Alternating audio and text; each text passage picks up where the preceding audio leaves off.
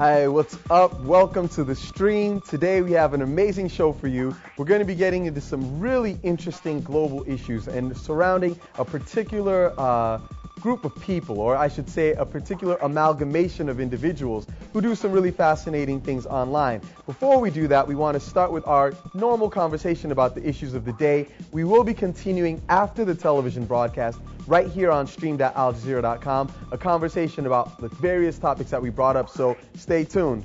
Ahmed, Nora, great to see you guys today.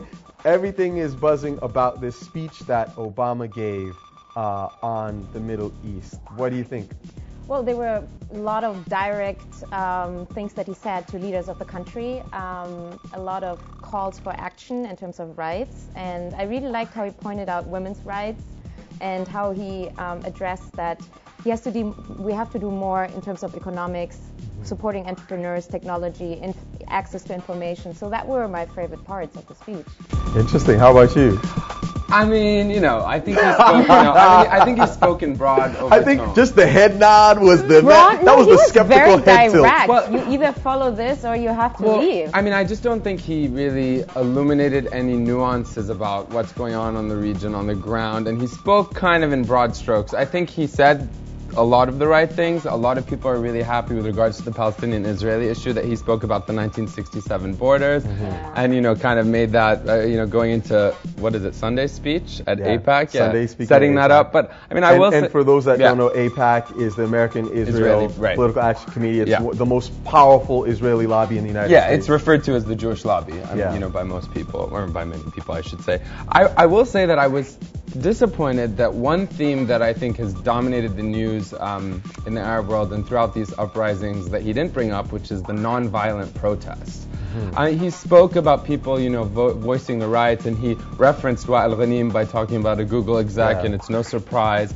I just feel like, you know, we've seen nonviolent protests in Palestine, we've seen them in Egypt and Tunisia, in Syria, and so I just wish but he would have. I, I think he yeah. did kind of reference. He, he did He a did. couple of things. He referenced it in the context of look at what's happened when the people stood up for their own rights, vis-a-vis what Al Qaeda has been talking about. Right, right. He was going on about the death of Bin Laden, but that Yeah. the Arab Spring was But to me, something that was irrelevant. Oh, oh, absolutely. But that was his way of connecting it. Also, he connected the idea of the two interesting things. I thought he connected the the uh, U.S. Uh, American Revolution, which was a violent revolution, Mm-hmm. Right. and the civil rights movement in the United States, which was largely nonviolent. You're right. To this whole quest Right. for freedom in the Middle East. So Right. that was intriguing. But th- you're right. It, it led some people loved it. Some people Mm-hmm. uh, were not so excited about it.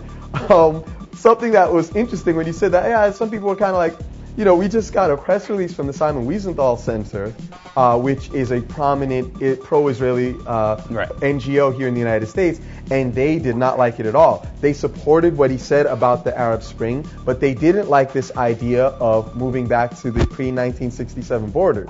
And people are saying, well, that's been sort of a tacit uh, understanding, but I, I feel like this was a very strong, explicit statement by an American president. I don't know if we've seen that before. Yeah, I mean, you could say that. A lot of people will come on either side of the fence. I mean, you know, we were having that discussion upstairs with some of the rest of the team. Yeah. Um, I, I mean, you know, I, I think one thing, and obviously everyone comes to this from their perspective of what they want him to talk about. Yeah. But one thing that I think he he didn't necessarily do is he, and where he was consistent with like past administrations, is he kind of, you know, didn't stray far from the narrative, specifically with the Arab-Israeli or, or Palestinian-Israeli conflict. You know, he Yeah. didn't stray too far from the the normal narrative, except with the 1967 thing, in the sense that he said, you know, Israel, he emphasized Israel's right to uh, defend itself, and he said every state has the right to self-defense. I tweeted this out. Um, but you know, does that not include the Palestinians or Bahrain? And I, you know, I think he Uh, spoke the about Palestinians Bahrain. are not a state yet, so exactly. as long as they're not a state, they don't I mean. have like, that right. You only have the right if you're a state because yeah, you're not it's recognized. interesting. It's, you know. it's, it's like Diplo speak. Hold on one second. Let's see if our Skype guest is ready. Skype, can you hear us? Hi, Gabrielle. How are you? Good, how are you? Very well, thank you. So much appreciate you taking the time to join us. Very my pleasure. We're going to be coming to you in just a bit at the top of the show. Sounds great. Okay, wonderful. So, I mean, Nora, what do you think? I mean, it seems like this is the kind of speech where you're damned if you do, you're damned if you don't. You, there's no way to make everybody happy. Yeah, it's not. But I, I think that I mean he took a new stand, and that's going back to Yeah. the to, to the 67 borders. Mm-hmm. So I, th- I think that's quite brave to say that. And I mean, so I I. I and also calling out the leaders of the different countries, like I said earlier. I Yeah. mean, that was uh, like directly. There was And he brought up Bahrain, which Yes. I don't But- think people were expecting him But, to. but this is what I mean about Go like he brought up Bahrain, but Yeah. he didn't mention the Saudis or Saudi Arabia's role in the crackdown on But, protesters. but okay, so this is what I was saying online because I was tweeting with someone. Uh, Jillian York was saying, well, he didn't bring up the Saudi Yeah. role in Bahrain, but I'm like, yeah, but if he did, He you wouldn't be seeing walk-to-work protests in Uganda. You would be seeing the United States. Yeah, because the of gas oil. prices would go through. Well, the that- so, so the part of the thing is, Right. you're talking about politicians, not people. Right. So when you've got all this stuff Yeah. done, and course, you give a speech where you piss off the Israelis and the Saudis at the same time, Yeah. that takes at least political But- courage, even if the average person doesn't like it. But do you said it yourself, like skirting around the issues. Like Yeah. that's what I mean about this not being a departure. And now obviously Yeah. we can't expect him to at such a tumultuous time, like you know, give the speech where he calls everything, you know, he calls a spade a spade. Yeah. But um, it would be refreshing to see a little bit more of that, considering the fact that U.S. foreign policy has been proven to be pretty much, uh, I don't want to say irrelevant, but not extremely effective, as we've seen by these revolutions. Well, I think that ultimately, like when you're looking at the political realm, change tends to happen incrementally.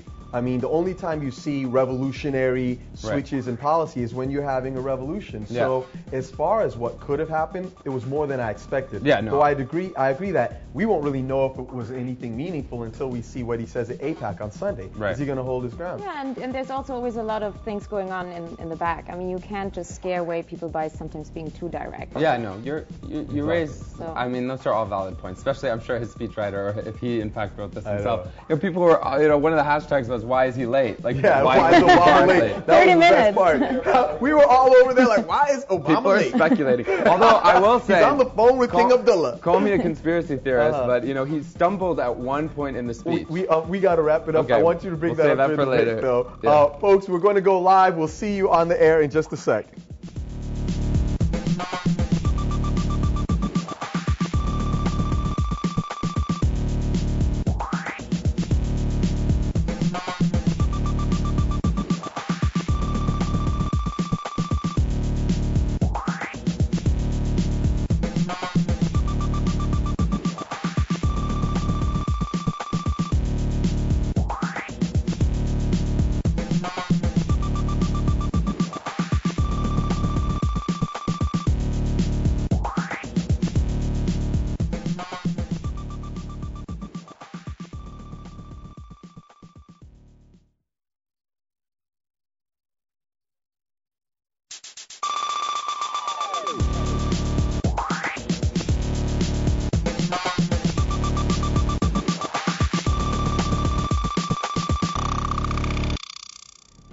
I'm Derrick Ashong, and you are now in the stream, a social media community with its own daily TV show.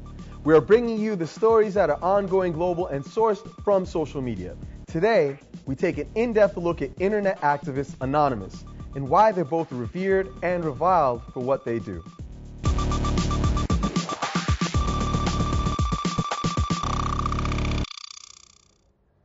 As always, our digital producer Ahmed Shihab-Eldin is on the couch. Back with us for a second day is Nora Abousteit. She is a member of the founding team behind the Digital Life Design Conference, which connects innovation design, science, and social media leaders for inspiration. She's also the founder of BurdaStyle. Tell us, Nora, what is BurdaStyle? Yeah, BurdaStyle is an open source DIY fashion community. People use social networking tools to make their own clothes, something like this, what I'm wearing. So you can share sewing made pattern- that? We made it. Our seamstress made. it. I could have. It's I could have. beautiful, I'll say. Yeah, so you share sewing patterns, techniques, and then you show what you've made and get the recognition of Well, the community. I, I love that maker culture is transcending in so many different ways, and you guys are fusing technology and real world maker culture. Uh, what we're going to be talking about a little bit in a few minutes is actually very closely related, at least in the sense of open source communities. Um, before we get into that, though, Ahmed, we were talking about the Obama speech on the Middle East just in the pre show. We're going to cover it a little in the post show, but we asked people some of their thoughts on it. What kind of stuff did they say? Yeah, I mean, we asked people for their comments, their quick reactions to the speech, and we'll just start with one from Nick the neighbor, who is quoting Obama. You know, he talked about the greatest talent and resource of the Middle East is its people, but then Nick adds what Obama didn't mention is and its oil. now, we can't expect Obama to talk about oil so directly, but some people, a lot of people, were talking about this. And just to throw one other tweet in there, and this was commonly tweeted, this subject Green Alpha says nothing about Saudi, and how hard is it to apologize for backing those dictators for years and years? So the idea is, you know, a lot of people wanted him to talk about Saudi, and even though he mentioned Bahrain, a lot of Mm-hmm. people even here, he said great speech, and Slayton saying it was wide-reaching, but surprised that he talked about Bahrain, but lots of people are also surprised he didn't talk about Saudi's role in cracking down the protests in Bahrain. Yeah, I, I mean, as a politician, we kind of mentioned that before. Yeah. You can't just always say how it is. You have a certain interest, Right. you know, and we all know that uh, Saudi is not just a nice desert. Yep. And so there is something down there that you Right. know you need as a, Yeah. as a state. And so I mean, there were a few things that he said where he was calling on certain leaders Yes. and was uh, was telling them, you know, it's time to step down uh, Absolutely. or to make certain well, well, he concessions. made a couple of profound statements. One, he called for uh, negotiations between Palestinian and Israel to be Right. made around the 1967 borders, Right. which was a big deal for an American president to make an explicit statement that way. Mm-hmm. We've already seen a negative response from some pro-Israeli groups, and some Palestinian pro-Palestinian groups are saying he didn't say enough. Also, though, the thing that struck me that is most interesting in a way is his comments on the United States will support Right. democratic movements in the Arab world, Right. and they're going to be financially backing a democratic Egypt, Yeah. which provides some kind of incentive, maybe a shift in their policy, given how wishy-washy Yeah. the State I mean- Department was earlier. I mean, you, yeah, you would certainly expect that there will be a shift in the policy because clearly this speech and I think the uprisings themselves are Yeah. a testament to the fact that the foreign policy of the U.S. has not necessarily been working. Yeah, well, and it's the people who've driven this shift in policy. Yeah, and we just you spoke about women earlier, and you were happy that he spoke about women. I just want to get one tweet in there from Malak Jafar saying he gave a shout out to women and freedom, but again failed to mention Saudi Arabia. Yes, and it's kind of interesting because in Saudi Arabia things are happening. The, there's a woman now who drives. Yeah. I think you guys heard about that, Right, we right? did. Yeah. So people are being inspired and they're acting upon it. And, Yeah, and well, I think I, think the Saudis are going to have to drive that change. America Yeah. will not be driving change in Saudi, or they won't be driving at all. oil, oil, oil, hint, hint. Ahmed, let's Speak- talk a little bit about the Yeah, next speaking topic. of which, we're, we're uh, you know always encouraging you at home to be tweeting at us if you have sh- stories to share. But what we're doing today is a little differently. We're looking at a story coming out of India where economic growth is so fast that it's outpaced their electric infrastructure. So they have power outages and power cuts. So we're covering this story, and we're already coming across. You can follow this story, sorry, on our uh, website stream.aljazeera.com. But we also have a map where we're trying to piece together the different elements of the story. So if, remember, if you're in India and you want to contribute to the story and help us report the story, please tweet us at AJ Stream. Georgia Popplewell, Managing Director of Global Voices, and I'm in the stream. Some call them internet heroes who fight to defend free speech and transparency online. Others dismiss them as cyber terrorists who break the law. No matter where you stand, there's no denying that the group Anonymous has become a powerful force that is redefining activism online. As you can see from my screen, I've got this particular image that is very powerful. It is a Guy Fawkes mask, and it's actually been taken from the movie V for Vendetta. Now, this is an image that has come to define Anonymous, and in a nutshell, we can't even describe them as a group per se. This are people who meet in internet relay chats, IRC rooms mm-hmm. online, and they discuss issues that are of interest to them. Now, we know that they do take part in some activities that people consider cyber activisty. They were involved in uh, Tunisia in battling against the government shutdown of censorship, of Right. censorship there. We also know that with WikiLeaks, uh, when companies like MasterCard, Visa, PayPal refused to process transactions for WikiLeaks, uh, they actually engaged in DDoS attacks on them, distributed denial of service attacks, where they basically shut down the websites of MasterCard, Visa, PayPal, and uh, some other places like Amazon. So you see that activist side, but then they also engage in activities called lulls, where they'll do things that are kind of just for fun, uh, little hacks or activities that some people would consider to be uh, I don't even know how to put it, either prankish Right. or or some people have said it's or mischievous, Right. etc. So it's not like they have this basic moral code per No. se. Uh, to give us a little bit more insight into who this organization is and what they're all about, we're happy to have joining us from New York University Assistant Professor Gabriella Coleman, who's extensive, extensively researched the group. Gabriella, thank you so much. Welcome to the stream. Thank you. So, uh, Gabriella, could you define for us uh, in simple terms what is Anonymous? I'll have to say you did a, a wonderful job describing the sort of arc of activities they're involved in. Thank you. And one of the defining characteristics is that they're hard to define at some level.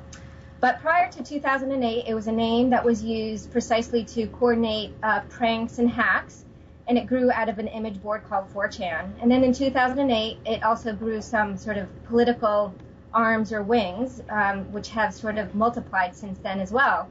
And so currently, you have different people who use the name to, to coordinate political activities that range from protesting the Church of Scientology to supporting WikiLeaks but the name is still used to also engage in prankish activity as well. Now, I'm curious, how did this particular um, experience come together? Because it's not a group with a, a leader per se, it's not got an organizational structure. What is the genesis of it? Well, the genesis in some ways came from this image board where everyone posts anonymously, and there was sort of a, a commitment to the ethic of anonymity, uh, an ethic that's also anti celebrity, uh, anti individualism. But in some ways, uh, when they pranked the Church of Scientology in 2008, they went on internet relay chat and started to sort of coordinate political action. And in some ways, that is when the sort of political sensibility was born. Hmm. And there's a little bit more organization in the political wings uh, when it comes to the sort of technical resources, and yet there's a lot of flexibi- flexibility and dynamism built into Anonymous when it comes to who and what they're going to engage with politically. Nora, this is really fascinating because on the one hand, you see sites, traditional social media, places like Facebook, that are actually curtailing people's activities based upon whether or not the organization decides it sees it as legitimate. Right. Uh, and then you have something like Anonymous, where people are literally pursuing freedom and doing what they do. You are the founder of an open source collective of your own. Yeah. How do the principles of open source play when you look at something like Anonymous vis a vis how the rest of the world is engaged in social media?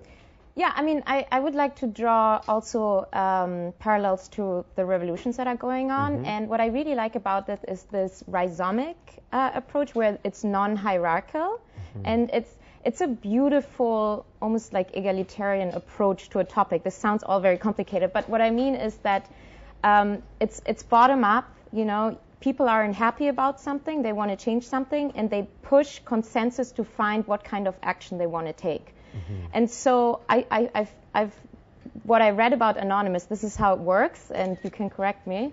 Um, and this is what works on Burda style. People create something together, but this is the same in the revolutions. You know, people are unhappy, they organize themselves, and then they take action. So it's a great way of for civil society and for democracy, actually. So, well, this is the, the thing that's interesting to me when you think about the organizing and taking action. And, and Gabrielle, I, I would love to get your insights on this because, again, Facebook is a place where everyone saw, oh, they had a significant role to play in, let's say, the Egypt or Tunisian revolutions.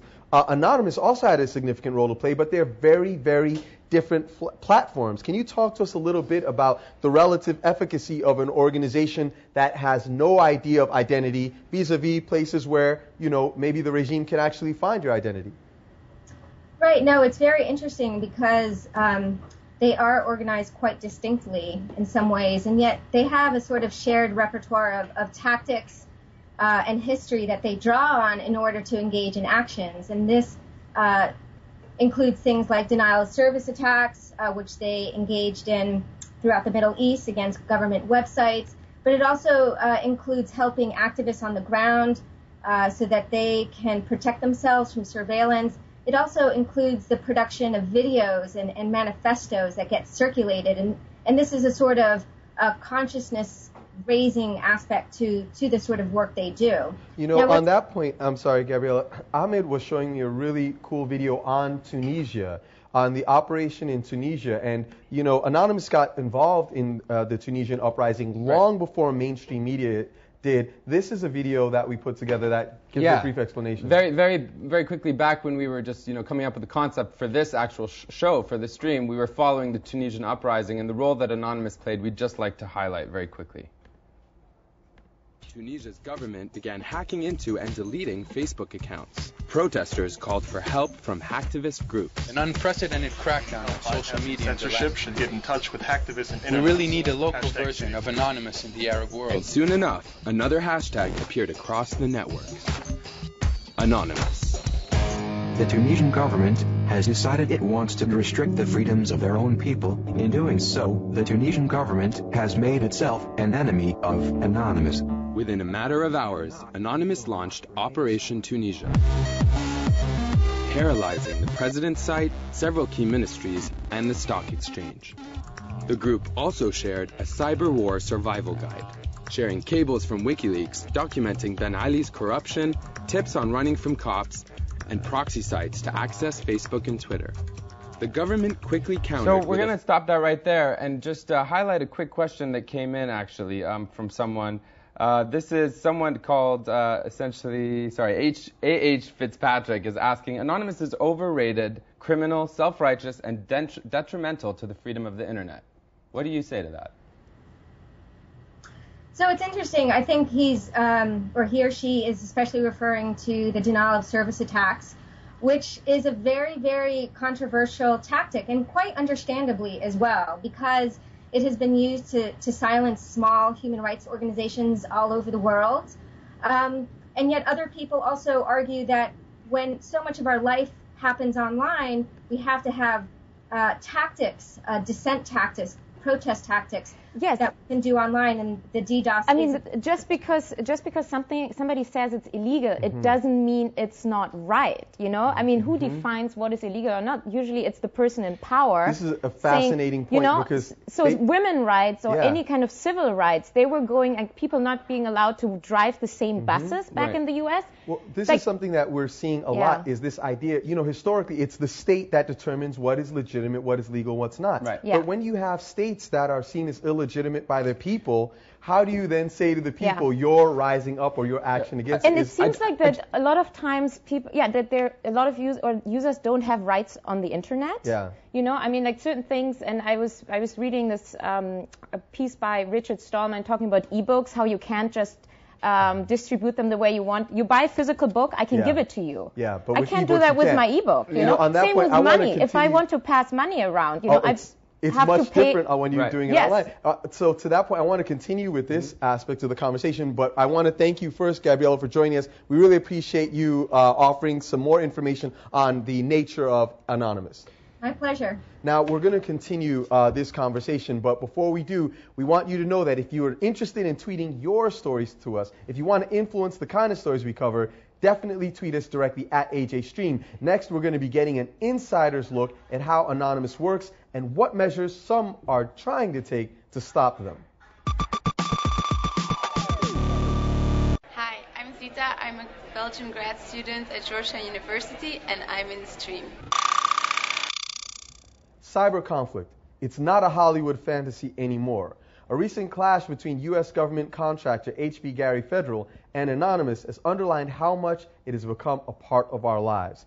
This story was really quite fascinating. In a nutshell, an American security firm, HBGary Federal, uh, basically had their uh, a senior executive claimed that he had infiltrated Anonymous, and he said that he had gotten access to people's names and private information. And once Anonymous heard about this, they actually responded. Uh, the CEO of HBGary, Aaron Barr, precipitated this, An Anonymous went in, hacked their servers, found email addresses, all kinds of private information, leaked that information publicly. Now there is a federal investigation. The CEO was fired. He had to, he lost his job and there's a federal investigation into some of the activities of HBGary, which basically was the organization saying, look, don't mess with us. So there you see a kind of a conflict happening in the digital world. We want to know a little bit more about these security issues. So we have joining us via Skype from Durban, South Africa, internet security consultant Haroon Meer. He's the founder of Thinkst, a company that focuses on information technology safety. Also with us is Ananan. And but we use the term anon, Right. anon for someone who's a participant in Anonymous, and that's why we have his uh, identity protected for security reasons. And I just want to throw in there quickly that we also are chatting with a group of members of Anonymous on an IRC chat, and we're throwing questions to them. Absolutely. So uh, first, let's actually start with Ananan. I understand that you are a, a participant in Op Tunisia. Can you tell us a little bit about that?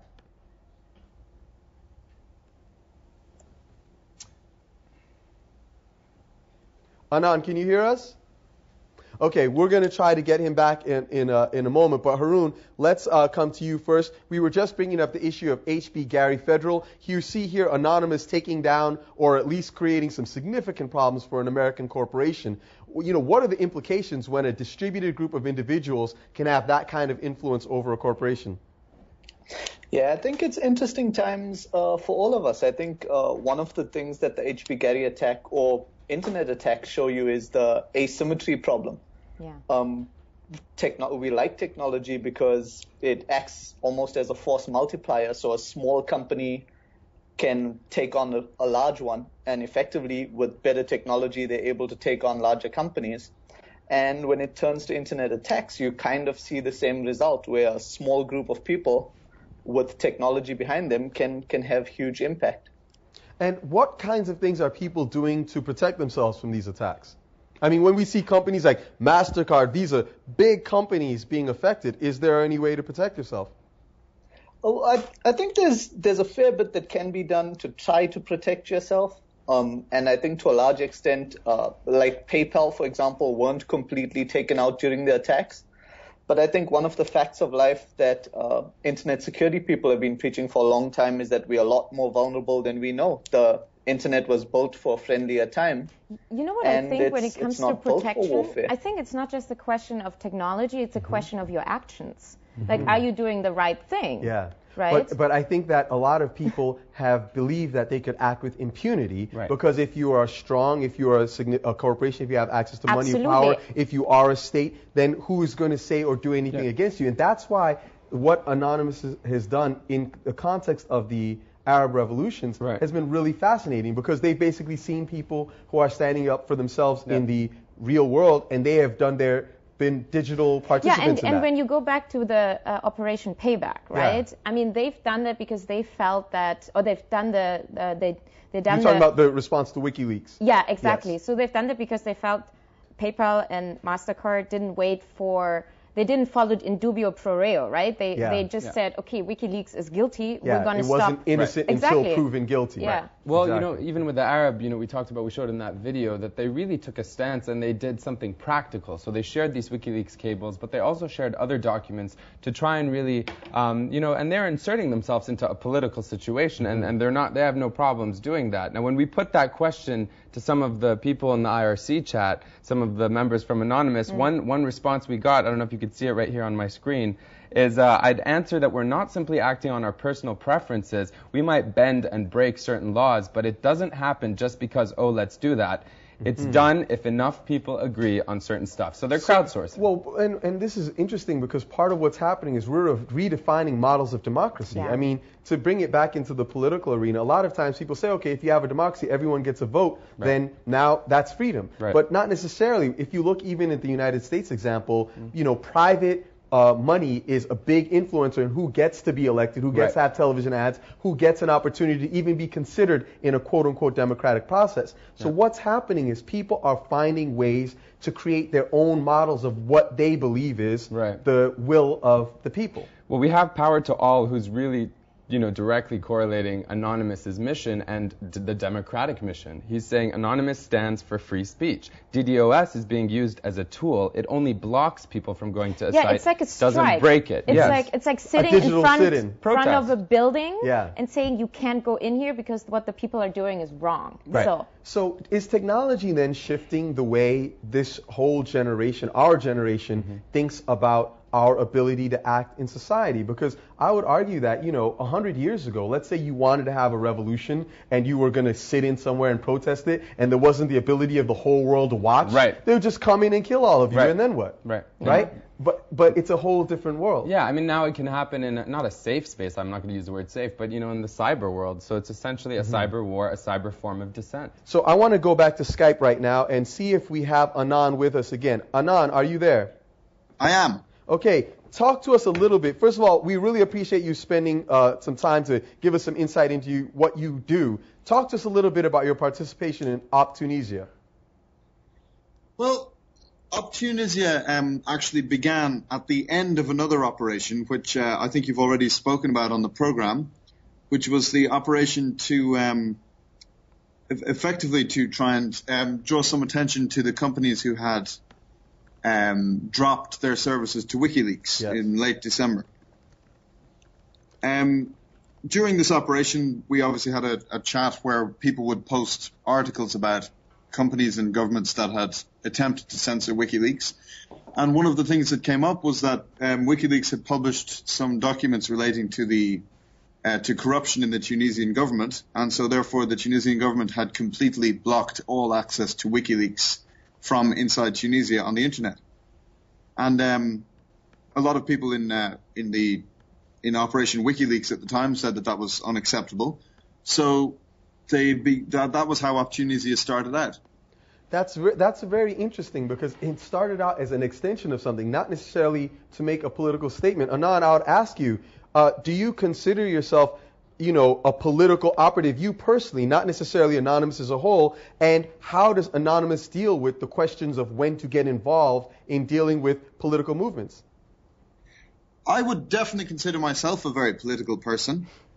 Um, as I've said before, nobody can speak for the whole of Anonymous because mm-hmm. there is no whole of Anonymous. It's it's more like a franchise name than a defined group. Mm-hmm. So it's I don't think anybody can put a label on the movement as a whole. But what I would say is that um, in general, when we have been after Op Tunisia, obviously um, Anonymous sort of branched out into all of the different Arab Spring operations, as they're called, and um, basically the rule that we had was a lot of people would post articles about oppression in, in various different countries.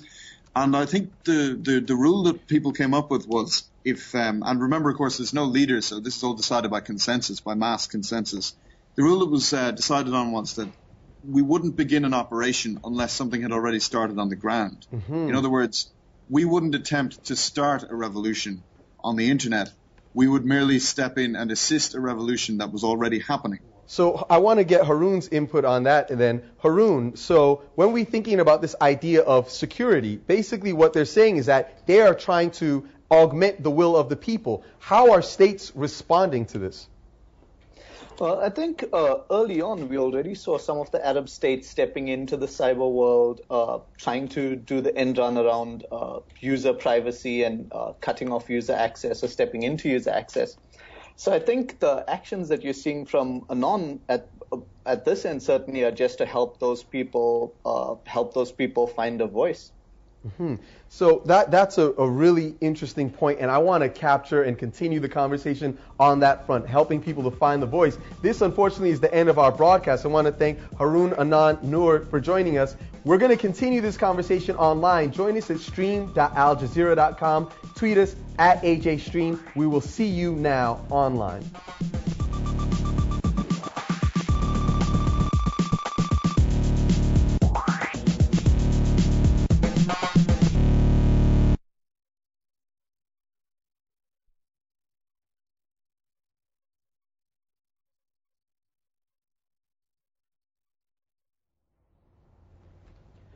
Thanks for joining us once again. You are in the stream. We are now in the post show. This is a, right here on our website, and where we get a chance to get deeper into some of the issues that we've already been discussing. Uh, we have joining us right now Haroon from uh, Durban and also An- Anan. And before I come back to you, I want to get Nora your idea of this uh, concept or your thoughts on this concept of people helping each other. Literally, I mean, Anan is telling us that Anonymous doesn't get involved. They're not going to start a revolution. They're going to participate if this is what people really want. Is this showing us a new phase of the empowerment of individuals as well as groups? Um, yeah, I think so. And I actually I wonder what the future plans are, if there are any, mm. talking about the Spanish Revolution that we talked about yesterday. Yep. And I was just wondering, I'm very curious if, if I could ask Anon, you know, Feel is free. there something that or when do you determine, or are you talking about the Spanish Revolution already?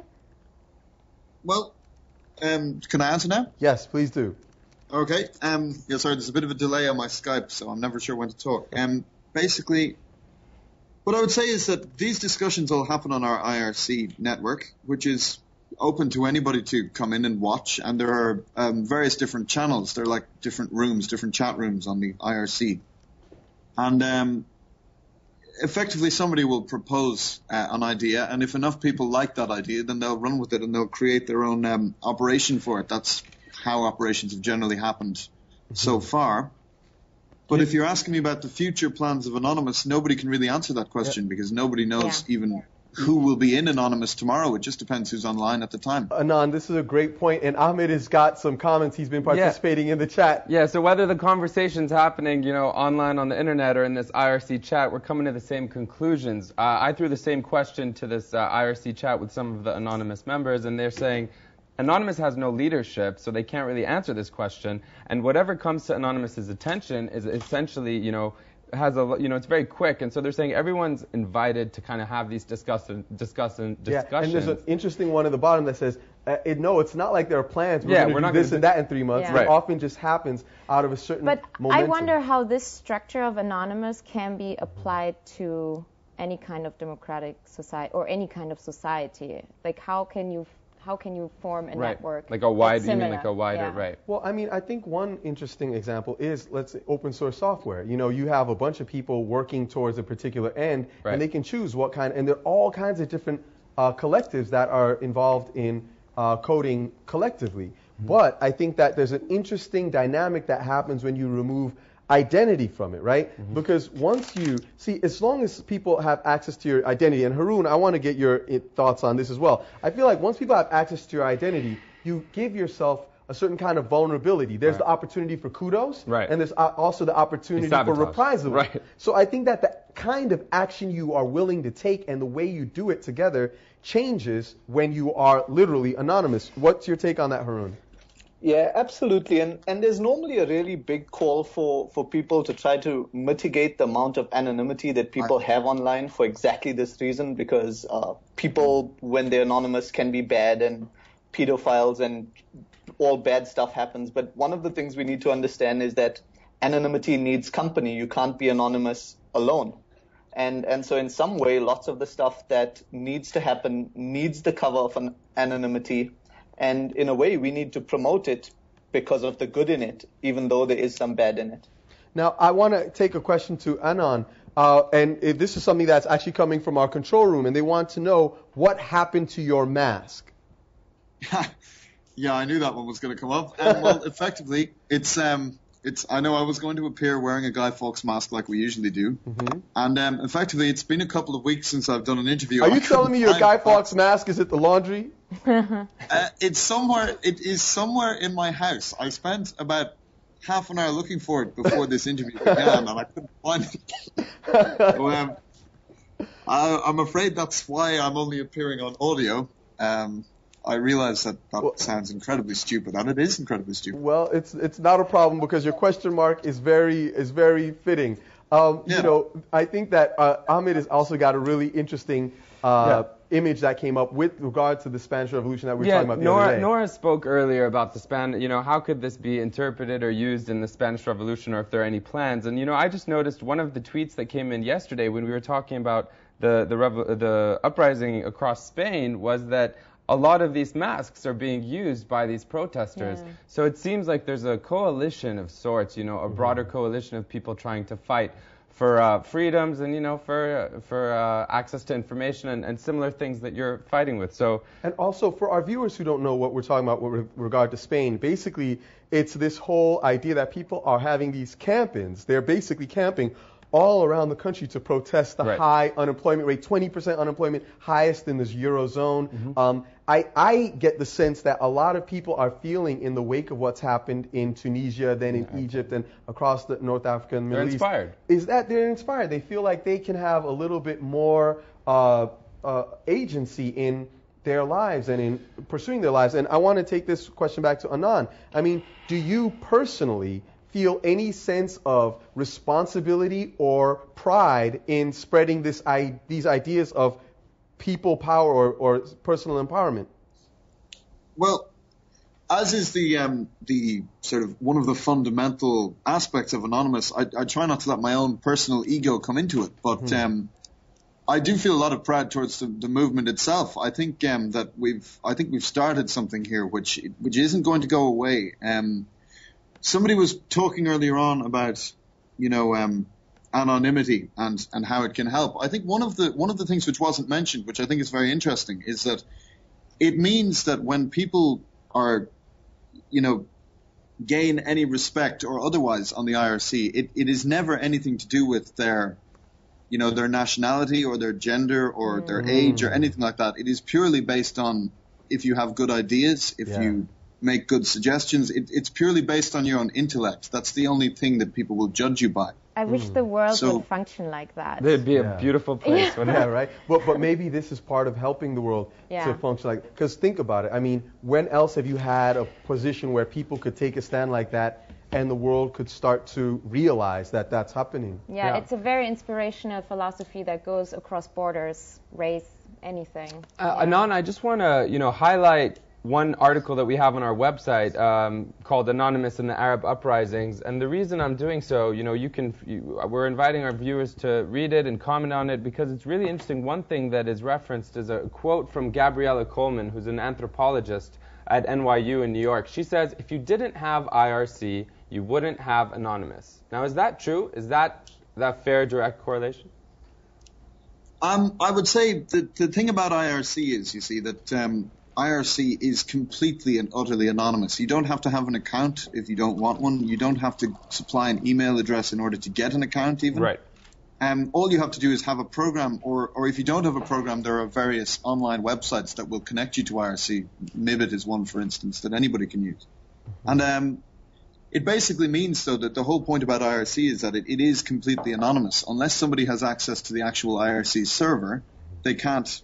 There's absolutely no way to trace where somebody is. So that's where the community really lives, the anonymous community. That's where everything is planned, if anything is planned. Well, there are various image boards and other websites out there where things are planned as well. But the the other thing about IRC, it isn't just the the anonymity. Sorry, the other thing is, of course, that it's in real time. You type something and it immediately appears to everybody who's talking, mm-hmm. very like Skype or Facebook chat or anything like that. So it's much easier, obviously, to plan something in real time than to make a post on a message board and then for somebody else to read it an hour later. You know, Um, I want to I want to broaden this conversation a little bit actually, and and there are a couple of things. One, I'm hearing from the control room that Anonymous has flooded uh, Twitter with like 65,000 tweets about AJ Stream. So that is Well, that's kinda- great news for yeah, us. That, that works for us. But uh, and so we appreciate that. But I, I want to take it back to this broader issue that we were discussing about, you know, Obama's speech on the Middle East. Right. And the thing that is interesting to me in the context of both of these conversations Mm-hmm. is just literally thinking about these actions that were taken by young people in the streets Right. of Tunis, Right. Uh, of Sidi Bouzid, of Cairo, of, of all you know all these different places around the world, Mm-hmm. uh, have and the actions that were taken digitally as well have actually forced, they precipitated at Right. least a shift in policy from the United States. I mean, the president of the United States is a dude with a fair amount of clout. He may not normally be looking at what are kids thinking on the streets of Cairo, but something seems to be shifting. Haroon, I want to get your thoughts on this more broadly. Are we entering a phase where citizens, individuals, youth, women, the people who have historically not been as powerful are actually becoming more empowered? Uh, it's a little bit out of my area of expertise, but I think one of the things that uh, that's clear is that the cyber world is uh, a major frontier for all of this, and all of the established power bases know this. I mean, all of the major superpowers are now establishing a presence in in cyberspace for exactly this reason. U.S. Cybercom, and yeah, it's it's a lot of power, and it's a lot of power that's really decentralized, mm-hmm. and so that power may be shifting back to the people. On, on the note of it being decentralized, we want to share a tweet that came in from Mind Detonator, who, who is saying, even though Anonymous has flexed its muscles and shown its strength, he's saying Anonymous is anarchism. It has no ideology, no centralization, and opposes authority if there is solidarity. It's democracy oh. 2.0. Anan, what do you say to that? I, I think that's absolutely correct. Um, I think that is exactly what Anonymous more or less stands for. I mean, you will see um, in, in Anonymous there are channel, and this is a mistake that's often made actually. People accuse us of of lying about the leadership thing because there are obviously IRC moderators and chat moderators on, on our servers. But if you actually spend some time on the IRC and look into it, you'll find that all of, all they do is make sure that the IRC keeps functioning smoothly. Um, For instance, they stop people from flooding it with, with bot attacks and various things like that. And if one of the servers goes down, they'll work on getting it back up. So it's, it's very much like, um, if I could give you an analogy, if you think about the Speaker of the House of Parliament, he doesn't actually make the laws. He just makes sure that you know everybody is given a chance to speak and that there's an environment where things can be done. You know, Anand, I want to thank you for joining us. Haroon, I want to thank you as well. Noor, we're going to finish with one last quote. In the 21st century, information is power. The truth cannot be hidden, and the legitimacy of governments will ultimately depend on active and informed citizens. That's a quote that uh, uh has just been pulled up by Barack Obama. We will see you again tomorrow.